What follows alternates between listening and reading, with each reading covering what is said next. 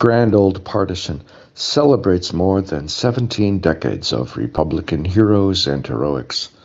Today, I salute Joseph Ritner, born to German speaking farmers in Pennsylvania, March 25, 1780.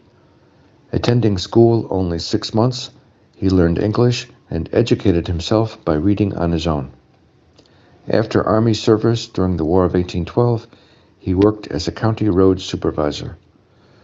Ritner served six terms in the State House and several years was Speaker. In 1835, he won the governorship after losing twice. This political ally of civil rights champion Thaddeus Stevens steadfastly opposed slavery, as his inaugural address made clear.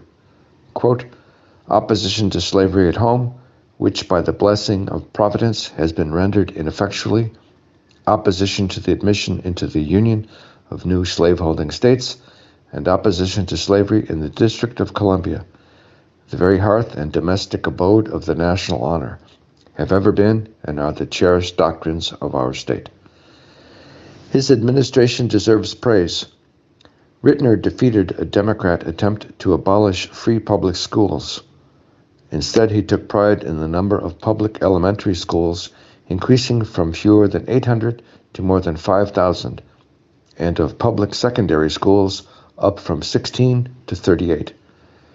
He signed a law chartering a state infrastructure bank after President Andrew Jackson ended the Second Bank of the United States.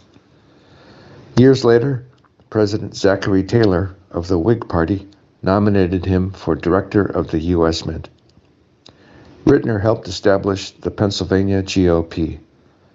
At the 1856 Republican National Convention, he urged fellow delegates to, quote, take strong opposition to the extension of slavery, and vowed, quote, to put his shoulder to the wheel and do all he could for freedom.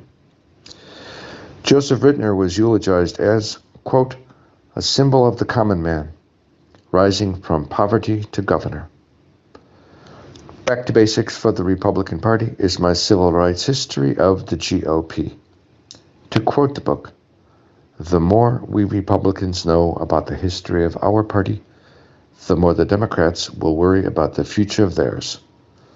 For more information, see grandoldpartisan.com.